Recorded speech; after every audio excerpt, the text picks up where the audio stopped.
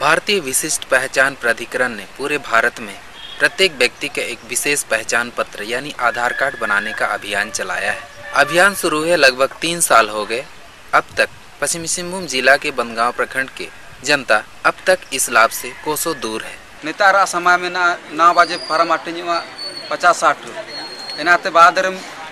Line रे मिजु जेरे दम ट्रगवा कार दो कागी। देन लेका कहते दुकु ते क्लिप सोबेना आगे रहेंगे ते तां सातिन ते मुश्किल होता होला होला कोई ते तार मार ले हिजु तने तीन दिन लेका हो बजना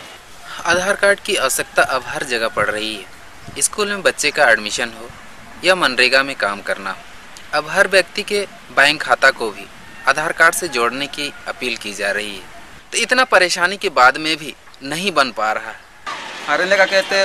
इसे पूरा मुश्किल हो बात ना अरे लेका इन्हीं दाना रे चुने पैसा बर्बाद होता और नेता हिजु मेनते पैसा बर्बाद होता प्लस रेंगे तकलीफ़ लेते पैसा खर्चा हो बात ना पराम लाइते खर्चा होता गाड़ी लेते खर्चा हो आधार कार्ड की महत्व को ध्यान में रखते हुए पश्चिमी सिंहभूम जिला के बंदगांव प्रखंड में एक आधार कार्ड केंद्र बनाया जाए वीडियो देख रहे आप सभी साथियों से मेरा आग्रह है